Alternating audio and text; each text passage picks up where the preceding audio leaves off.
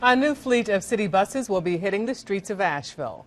The new buses are more energy and fuel efficient. News 13's Emma Wright is streaming live from the bus station on Coxe Avenue. These buses, Emma, were a long time coming.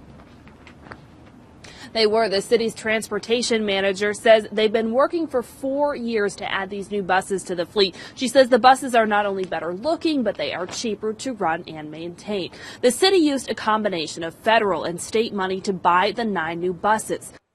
Trans transportation director says two of the buses are diesel electric hybrids. She says the other seven are diesel, but still more fuel efficient than the city's older buses. The new buses have an automated passenger count. That means they collect data whenever passengers board or get off a bus. They have a different look.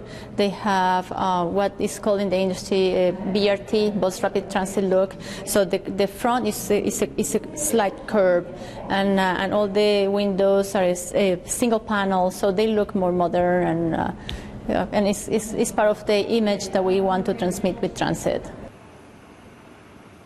These nine new buses mean that 14 out of 21 buses in Asheville's fleet have been replaced. Right now, two of those buses are out on the road, and the rest of them are supposed to be out on the road next week. Reporting live tonight in downtown Asheville, I'm Emma Wright, News 13.